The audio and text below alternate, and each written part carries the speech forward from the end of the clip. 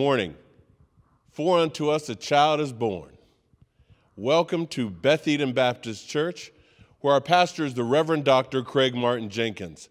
We're so happy that you came to join with us this morning, and we hope that you get something out of our service today, whether it's a song, scripture, or preach word. We're glad that you came out to join with us. And again, enjoy the service, but have a very Merry Christmas, and God bless you.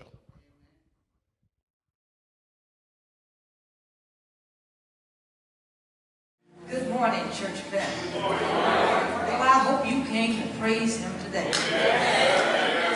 You look mighty good. I see the joy of Jesus all over you. Look at the person to your left and to your right. Tell them you look mighty good. Oh, yeah, the joy of Jesus. Yeah, yeah, yeah, yeah. Praise Him this morning. You just take this time out to celebrate the birth of our Lord and Savior Jesus Christ. The Bible says the joy of the Lord is my strength. So we celebrate that He brought joy to the world, and then He joy to my world. This week, you know, we've all been through some stuff. Everything that came up was a distraction. I said, but Lord, you know you've been handling everything. And I know you're going to keep on doing that in my life. This joy that I have, the world didn't give it to me. And the world can't take it away.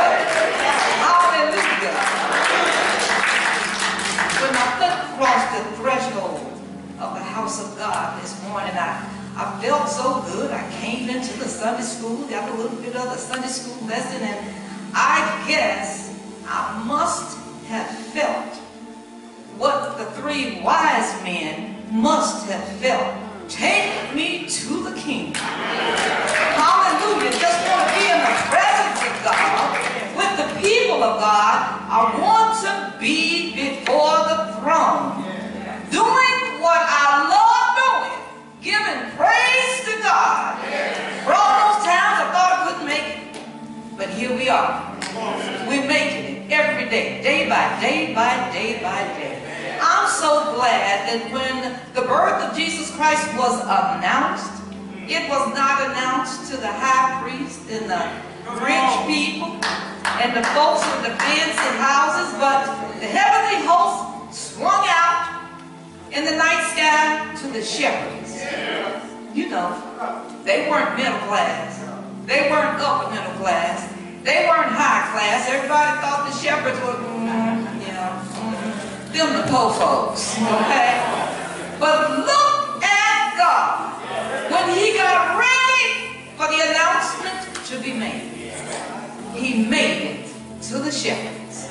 Praise God for including everybody. And when Jesus came, he included me. So we tell it, we tell it, and we tell it, we tell it over and over and over. The ensemble sings for you now. Go tell it on the mountain.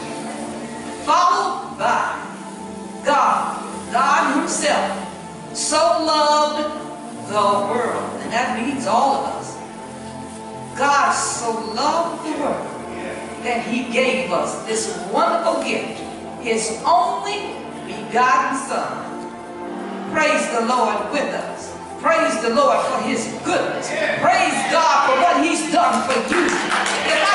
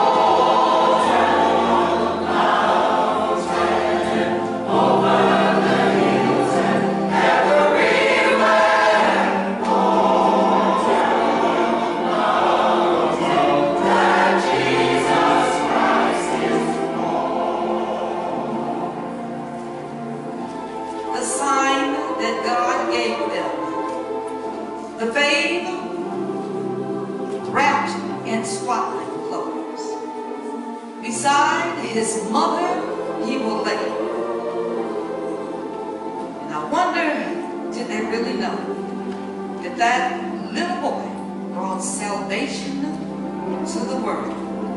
That was the first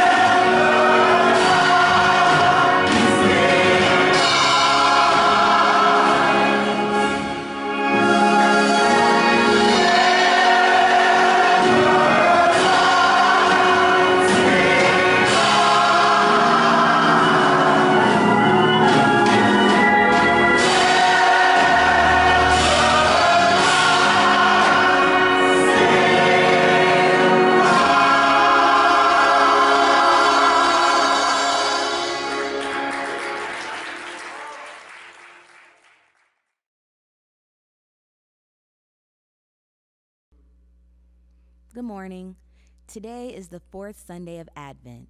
The theme for the fourth Sunday is peace. As Christmas draws near, we are reminded of two passages of Scripture. The first from Isaiah 9 6 says, For to us a child is born, to us a son is given, and the government shall be upon his shoulder, and his name shall be called Wonderful, Counselor, the Mighty God, the Everlasting Father, the Prince of Peace. And Luke 2:14 says, Glory to God in the highest, and on earth peace, goodwill toward men. The Beth Eden Angel Tree Ministry thanks each of you who participated in Angel Tree 2020, and the Media Ministry thanks each and every one of you for your food donations. Join our Sunday worship service every Sunday morning at 9 a.m. by dialing 312 626 6799, ID 95805 pound. Our prayer line is open Monday through Thursday at 6 a.m., 12 noon, and 9 p.m. Fridays at 6 a.m. and 12 noon. And for prayer, dial 712 775 7035. Access code 709315 pound. Please continue to support the obligations of the church through your tithes and offerings. Your contributions can be given through Givelify, Zelle, your financial institution, or simply by depositing your donation in the church mailbox. And remember to follow the guidelines set by the Centers for Disease Control by wearing a mask in public, wash your hands for at least 20 seconds, and practice social distancing. Have a safe, merry, and blessed Christmas season. May God bless you, and may peace abide with you always.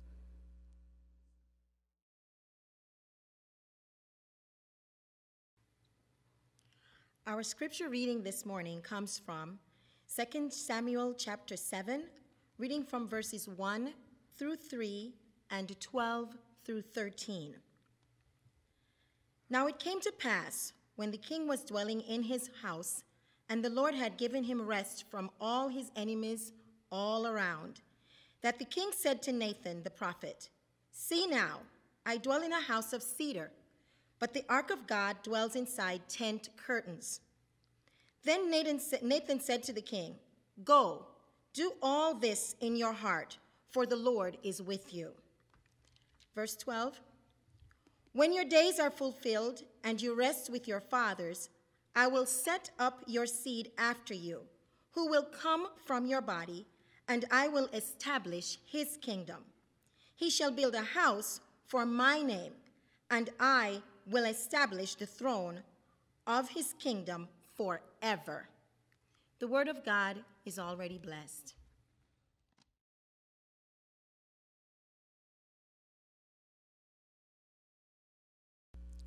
Let us pray. Our Lord, our God, and our Father, which art in heaven and all around us all the time, we come to praise you, Lord. We praise you because you are Almighty God and you are God all by yourself. We praise you because you do some wonderful things, Lord, in our lives, and we praise you for it. For you are God and God all by yourself. So, Lord, we, we come to say thank you. Thank you for all your blessings, Lord. Thank you for your mercy. Thank you for your grace, Lord. Thank you for watching over us and covering us with your blood. Now, Lord, we ask that you forgive us, for we all are sinners and we all fall short of your glory. But you are wonderful and a merciful God. So at this time, Lord, we, we come to say we ask for your blessings, Lord. Bless us individually and bless us collectively, Lord. Bless those who are grieving for the loss of loved ones, Lord. Bless those who are going through sickness right now, Lord.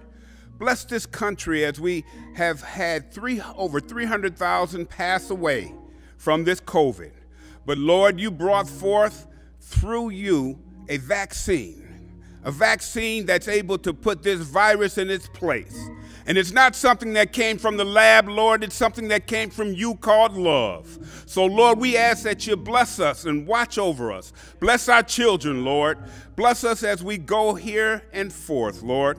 Bless those who are looking for something from you that they just don't know where to find it.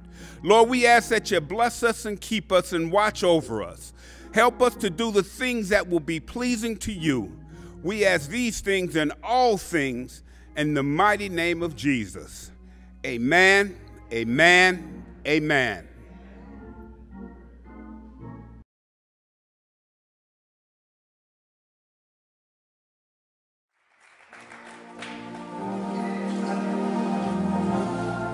Well, in that stable on the night that the Savior was born, it was a holy night. The night sky was holy. The stars were holy. The stable was holy. The angels were holy. And the little lamb of God was holy, holy, holy,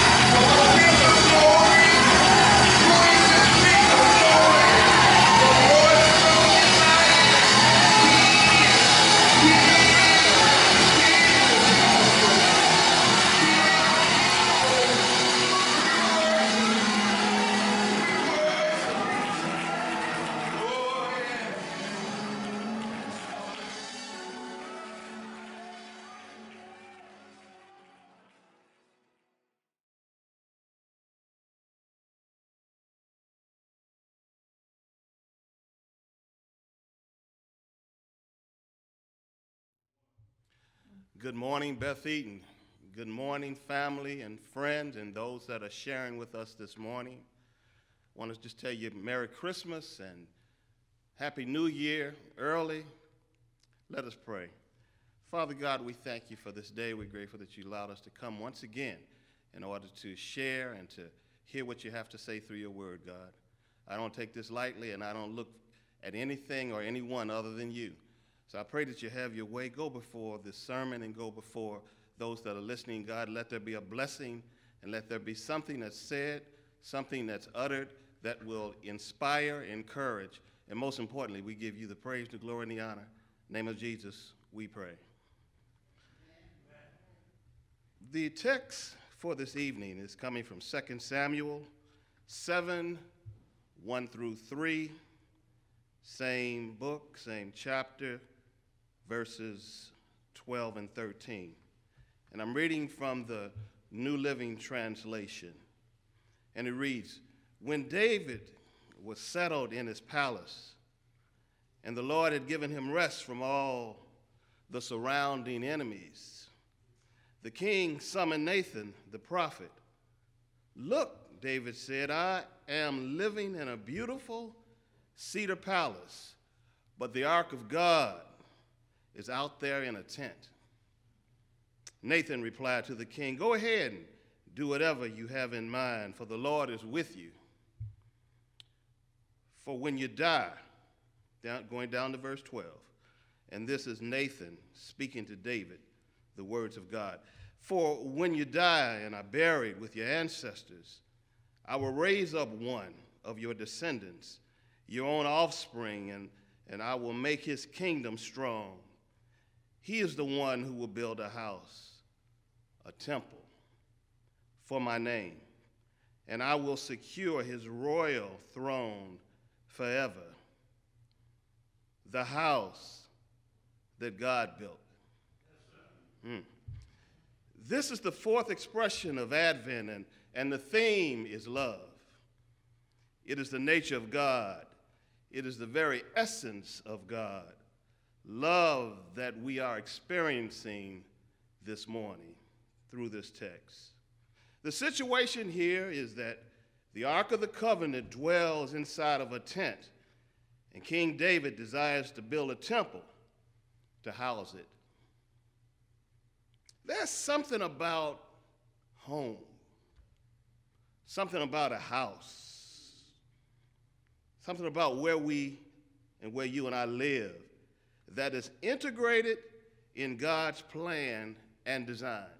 Yes, For over 400 years, God dwells with Israel in a tabernacle behind a tent. Wherever the people of Israel move, so does the Ark of the Covenant, a temporary house. Can you imagine dwelling in a tent, a temporary house, for this long of a period of time? in order to live with those that you love. God lives with Israel and is, and is not tired or weary of the living conditions. Jesus came down through 42 generations and he's born in a manger inside of a barn. No house, only a stable where the animals live because there's no room for him in the end. Born to be with those he would love. Luke 9 and 58 says, Foxes have holes, and birds of the air have nests, but the Son of Man has nowhere to lay his head. Church, today, homelessness is not new. According to statistics as of 2019, there are over 567,000 homeless people in the U.S. on any given night. Still remains that there's still no room in the end. That's about 17 out of every 10,000 people. Drive down lower Wacker Drive. See, COVID 19 don't mean nothing when you got to live outside.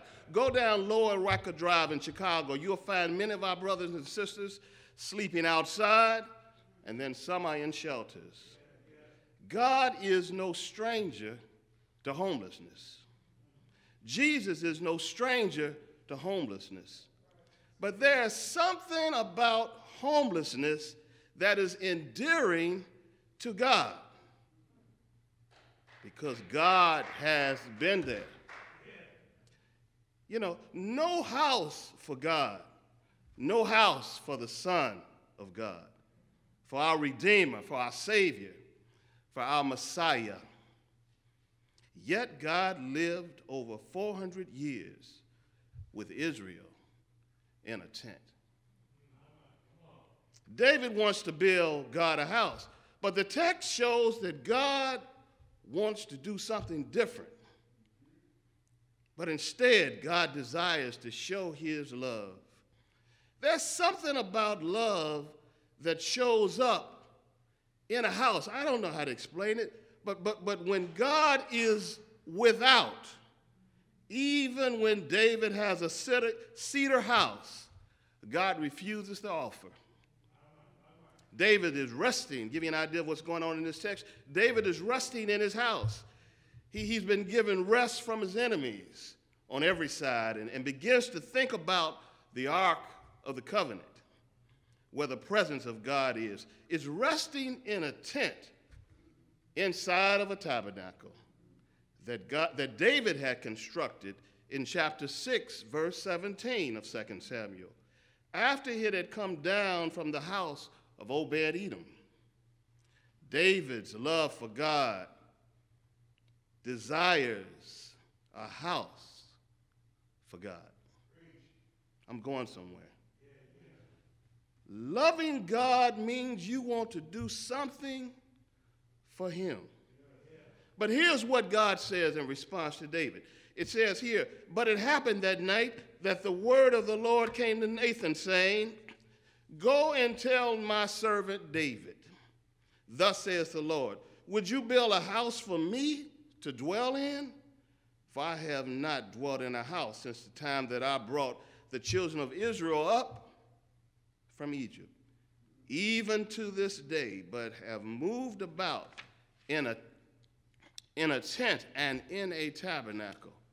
Whenever I have moved about with all the children of Israel, have I ever spoken a word to anyone from the tribes of Israel, whom I commanded to shepherd my people Israel, even them saying, Why have you not built me a house of cedar?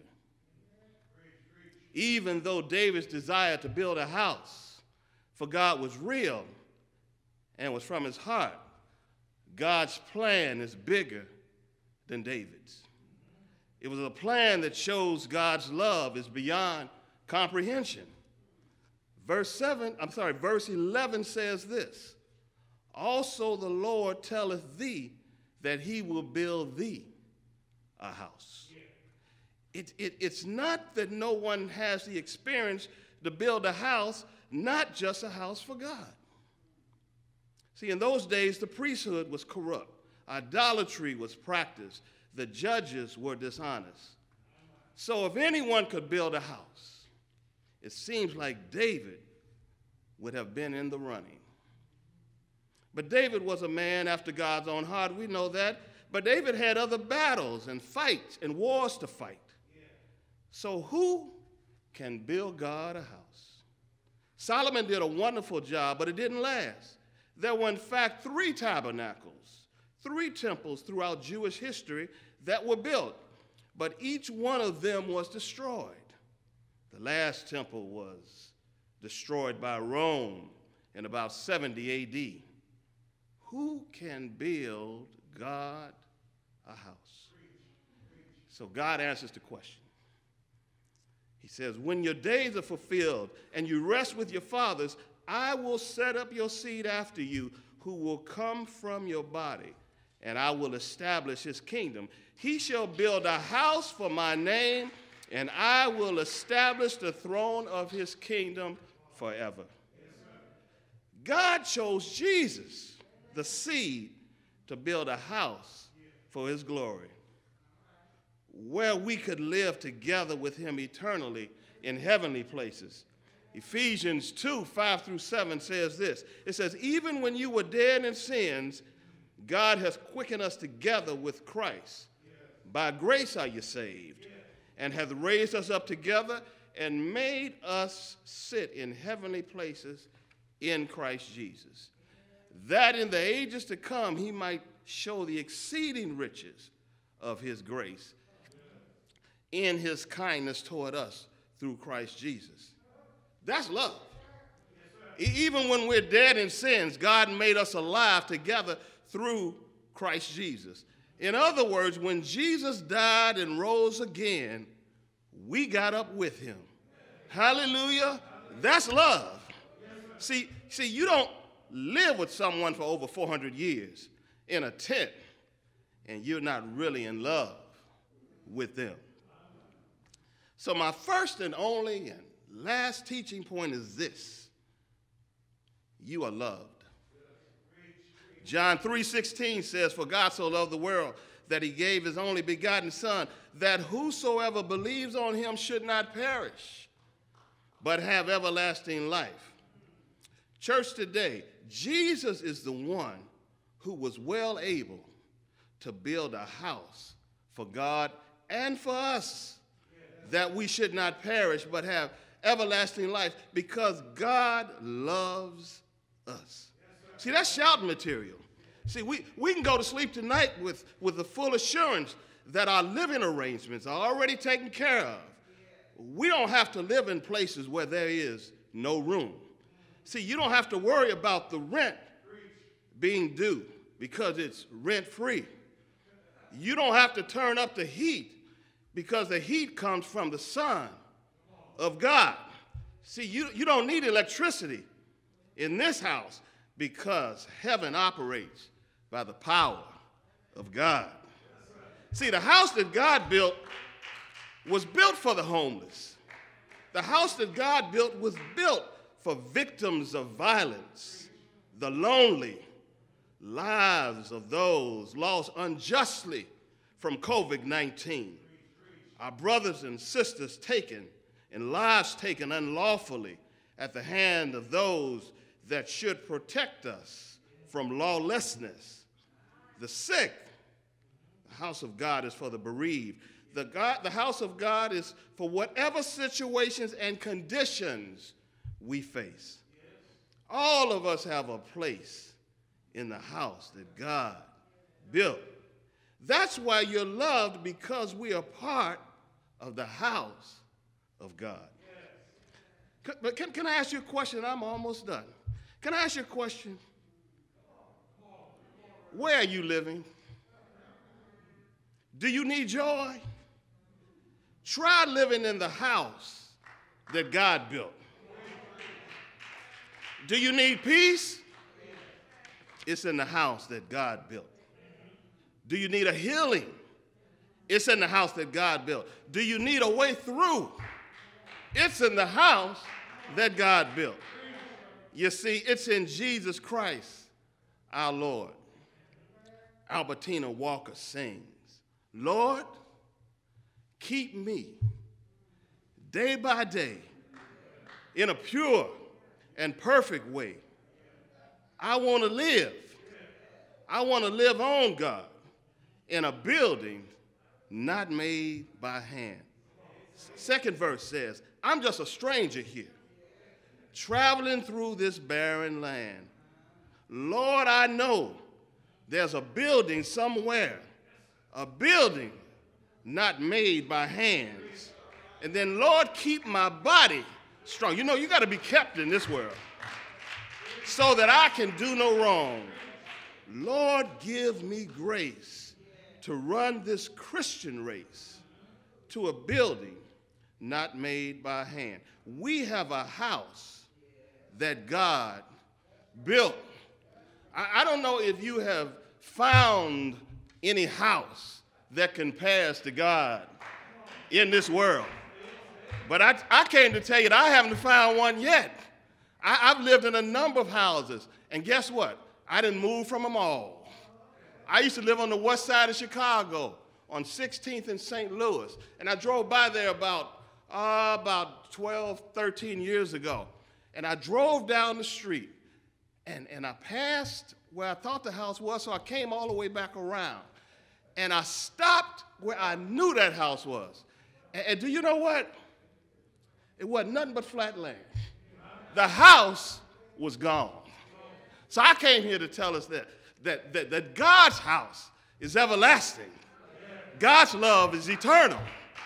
See, God's house will take you and house you when nobody else don't want to be bothered with you. See, we living in these houses nowadays. We can't go nowhere. But I dare you to switch from where you are right now in your spirit and live in the house that God has prepared for us. See, it's through His Holy Spirit.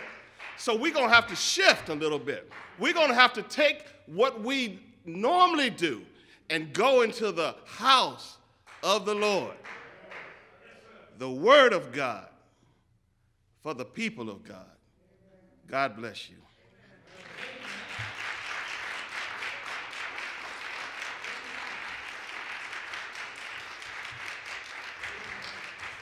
Come on, just tell God today, I thank you for your house.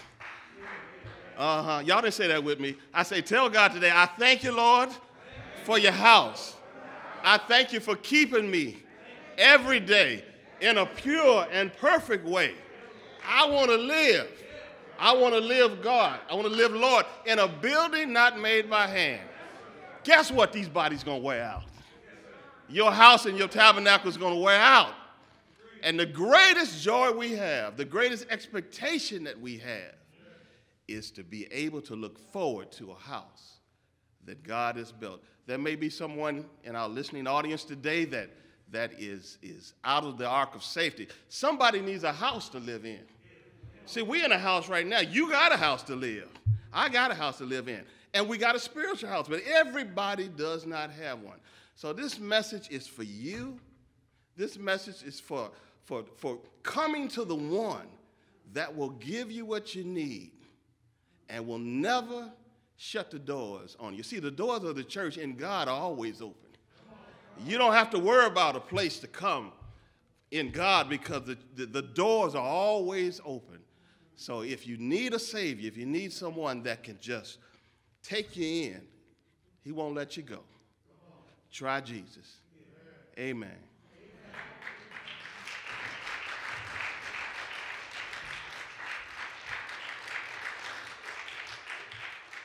God bless you.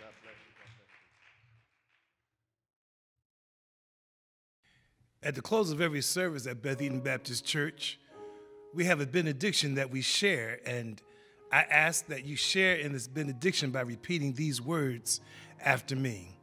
May God be within us to refresh us, around us to protect us, before us to guide us, above us, to bless us, and beneath us to hold us up. Now just point to somebody in your household and say, I love you. In Jesus' name, amen, amen, and amen. And most of all, my brothers and sisters, I want you to know that the Lord wants you to be saved. God bless you in Jesus' name. Amen.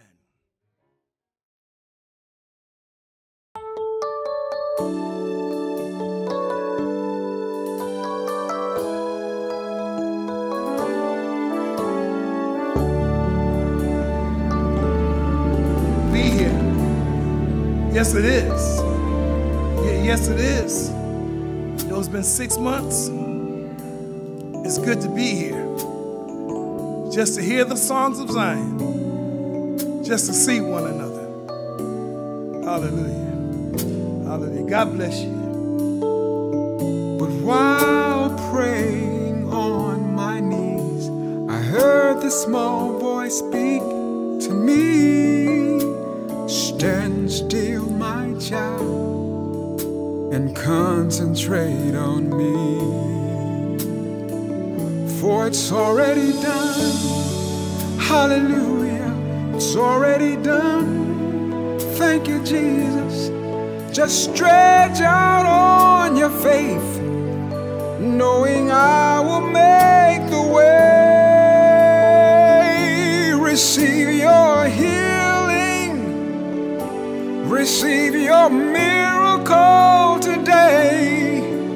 If you only believe, it's already done.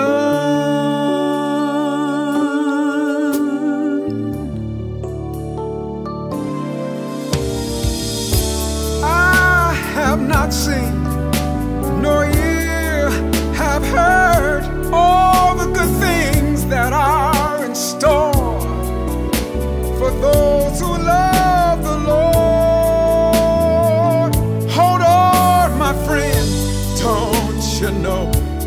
can open up doors no man can close. You gotta keep the faith.